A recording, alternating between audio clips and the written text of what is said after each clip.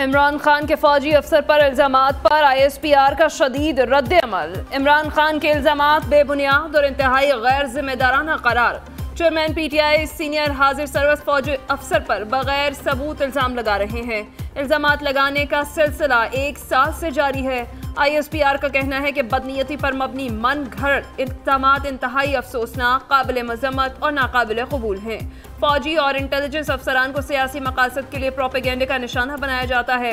इमरान खान से मुतालबा करते हैं झूठे इल्ज़ाम लगाना बंद करें। झूठे बयान और प्रोपेगेंडे के खिलाफ कानूनी कार्रवाई करने का हक महफूज रखते हैं। इंटेलिजेंस अफसरों पर इल्ज़ाम नाकबिल बर्दाश्त हैं। वज़ीर अजम शहबाज शरीफ ने भी इमरान खान को खबरदार कर दिया। ट्वीट में लिखा, chairman P T I intelligence agency अफसरान पर बगैर सबूत इल्ज़ाम लगा रहे हैं। उनकी मामूली सियासी फ़ायदे के लिए कौमी इदारों को धमकियाँ इंतहाई काबिल मजम्मत हैं। इमरान न्याजी को बगैर सबूत इल्ज़ाम लगाने की इजाज़त नहीं दी जाएगी।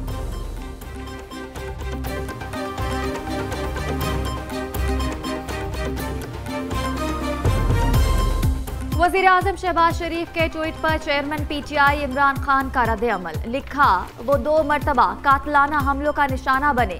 क्या वो शहबाज शरीफ से कुछ सवाल पूछने की जसारत कर सकते हैं? इमरान खान ने सवाल किया, क्या उन्हें बतौर पाकिस्तानी कातलाना हमले से मुतालिक पूछने का हक है? उन्हें मुकदमे के इंदराज के आईनी और कानूनी हक से क्यों महरूम किया गया? वक्त आ गया, हम बाजाबता ऐलान करेंगे। पाकिस्तान में जंगल का कानून राइज है। जहाँ जिसकी लाठी, उसकी भैंस का असूल कार फरमा है। सुप्रीम कोर्ट ने एक बार फिर पार्लिमानी कार्रवाई का रिकॉर्ड मांग लिया। अटॉर्नी जनरल को कल तक रिकॉर्ड देने का हुक्म। मुस्लिम लीग नून का अदालती असलाहत एक्ट केस सुनने वाले बेंच पर फिर अदम एतमाद। अटॉर्नी जनरल ने फुल कोर्ट तश्कील देने की इस्तदा कर दी। केस की समात के दौरान चीफ जस्टिस उमरता बंदियाल ने रिमार्क्स दिए। बेंच बनाने का इख्तियार चीफ जस्टिस का है। जज इस पर इल्ज़ाम लगे तो ट्रायल सुप्रीम कोर्ट का होता है। एतराज़ हो तो फैसला जज ने करना होता है कि वो मुकदमा सुने या नहीं। मुस्तबिल के लिए तयन करना है। बेंच किन हालात में फुल कोर्ट तश्कील देने का कह सकता है। क्या माजी में ऐसी कानून साजी हुई है? आर्टिकल एक सौ इक्यानवे के होते ऐसी कानून साजी कैसे हो सकती है? अदालत का एक्ट पर हुक्म इम्तना का फैसला बरकरार, केस की समाप्त तीन हफ़्ते के लिए मुलतवी। स्पीकर कौमी असम्बली का ऐवान और कायमा कमेटी का रिकॉर्ड सुप्रीम कोर्ट को देने से इनकार। रिकॉर्ड देने का फैसला ऐवान की खसूसी कमेटी के सुपुर्द। स्पीकर ऑफ़िस का अटॉर्नी जनरल को जवाब, असलम भोतानी की सरबराही में खसूसी कमेटी का इजलास कल पार्लियामेंट हाउस में होगा। सुप्रीम कोर्ट को रिकॉर्ड देने या ना देने का फैसला किया जाएगा। कमेटी की सिफारिश पर स्पीकर राजा परवेज अशरफ हतमी फैसला करेंगे।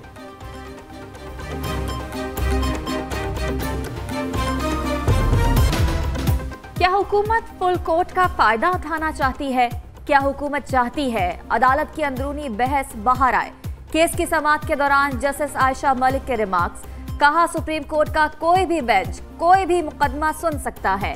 हर मुकदमा अहम होता है। ये तयन कैसे होगा? कौन सा केस फुल कोर्ट सुने? क्या अदलिया की आज़ादी का हर मुकदमा फुल कोर्ट ने सुना था? जस्टिस एजाजुल एहसन ने रिमार्क्स दिए। सुप्रीम कोर्ट ने फैसला दिया तो हाई कोर्ट फुल कोर्ट्स बनाने की पाबंद होंगी। जस्टिस मुनीब अख्तर ने कहा कि सुप्रीम कोर्ट फुल कोर्ट अपने रूल्स बना चुकी है। क्या लाहौर हाई कोर्ट में 60 और सिंध हाई कोर्ट में 40 जजेस समाप्त करेंगे? जस्टिस शाहिद वहीद ने कहा, क्या बेंच चीफ जस्टिस को फुल कोर्ट बनाने का हुक्म दे सकता है? पब्लिक अकाउंट्स कमेटी ने 15 दिन में सुप्रीम कोर्ट जज के असासों का रिकॉर्ड मांग लिया। एफबीआर से जज के इनकम टैक्स गोशवारों, असासों की तफसला तलब। सीडीए से जज को मिलने वाले प्लॉट्स और जायदाद की तफसील भी मांग ली। कमेटी के 11 अरकान ने जज के असासों की जाँच पड़ताल की हिमायत की। इजलास में कहा गया, सुप्रीम कोर्ट जजेस के असासों का रिकॉर्ड हमारे पास नहीं। इस्लामाबाद में 25 करोड़ का प्लॉट 4 करोड़ में दिखाकर टैक्स बचाया जाता है। चेयरमैन पीएसी नूर आलम खान ने कहा अवामी नुमाइंदों के असासों का सबको पता चलना चाहिए। उम्मीद है चीफ जस्टिस साहब इस मामले में हुक्म इम्तना नहीं देंगे। आज गैर हाजिर अफसर अगले इजलास में न आए तो वारंट गिरफ्तारी जारी करूँगा। हुकूमत की तोहन पार्लियामेंट बिल लाने की तैयारियाँ मुजवजा बिल में छह माह तक कैद और भारी जुर्माने की सजाएँ तजवीज़। तोहन पार्लियामेंट बिल कल कौमी असम्बली में पेश किया जाएगा। बिल के तहत पार्लियामेंट की तोहन पर किसी भी हुकूमती या रियासती अहदेदार को तलब किया जा सकेगा। चौबीस रुकनी पार्लियामानी कमेटी तोहन पार्लियामेंट केसेस की तहकीकत करेगी। कमेटी में अपोजिशन और हुकूमत के 50-50 फ़ीसद अरकान को शामिल किया जाएगा। तोहन पार्लियामेंट का मुसवदा पंजाब, खैबर पख्तूनख्वा और सिंध में राइट कवानीन की रोशनी में तैयार किया गया। राना कासिम नून कल प्राइवेट मेंबर के तौर पर बिल ऐवान में पेश करेंगे। इमरान खान या चीफ जस्टिस से किसी तरह ब्लैकमेल नहीं होंगे। नवाज़ शरीफ और मौलाना फजल रहमान के दरमियान टेलीफोनिक रबते में इतफाक नवाज़ शरीफ कहते हैं पीडीएम दबाव में आकर असूली मौकफ से पीछे नहीं हटेगी। मौलाना फजल रहमान का कहना था कि इंतबात अपने वक्त पर होंगे। अब पीटीआई से मुजाकरात ना किए जाएँ।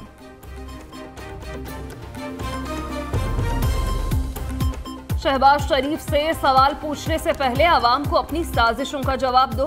बहरूपिए हक सिर्फ़ आइन और कानून के तहत है। कानूनी हक के लिए अदालत को सबूत देने होते हैं। वज़ीर इतलात मरीम औरंगज़ेब का इमरान खान को जवाब, ट्वीट में लिखा, इमरान खान ने हमेशा इल्ज़ाम लगाए, कभी सबूत नहीं दिए। इल्ज़ाम तराशी और बहुतानबाजी, किसी का कानूनी हक है, न आईनी। दूसरों पर इल्ज़ाम लगाने वाला खुद मुजरिम निकला।